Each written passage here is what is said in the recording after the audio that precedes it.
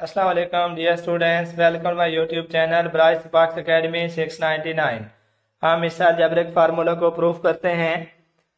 A cube plus B cube equals A plus B into A square minus A B plus B square हम इसकी right hand side लेते हैं।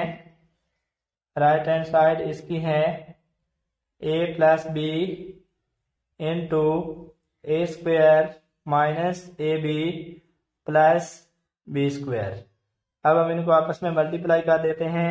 ए को A square से multiply किया, यानी कि ए मल्टीप्लाई होगा। A square minus A B plus B square से, इसी तरह ये जो प्लस बी है, ये भी मल्टीप्लाई होगा। A square minus A B plus B square के साथ।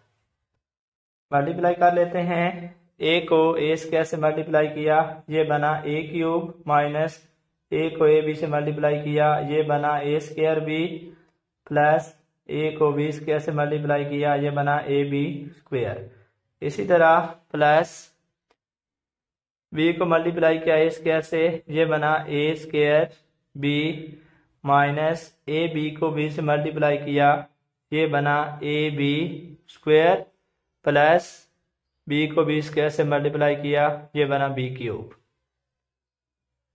तो यहाँ अगर हम देखें तो ये माइनस का ए स्क्र बी प्लस के स्क्र बी से कैंसिल हो जाएगा। ये प्लस का ए बी स्क्र माइनस के ए बी स्क्र से कैंसिल हो जाएगा। हमारे पास रह जाएगा A cube plus B cube and this is equal to left hand side इस तरह इस फार्मूले का प्रूफ मुकम्मल हुआ। हमने ये फार्मूला प्रूफ करना था। हमने राइट हैंड साइड को ले लिया।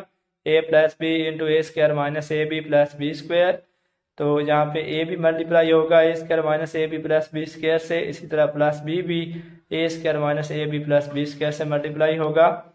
ए को ए स्क्र से मल्टीप्लाई किया, ये A cube minus A B को ए से मल्टीप्लाई किया A square B plus B square को ए से मल्टीप्लाई किया, ये बना A B square plus A square को बी से मल्टीप्लाई किया square B minus A B को बी से मल्टीप्लाई किया, ये बना A B square plus B square को बी से मल्टीप्लाई किया plus B cube.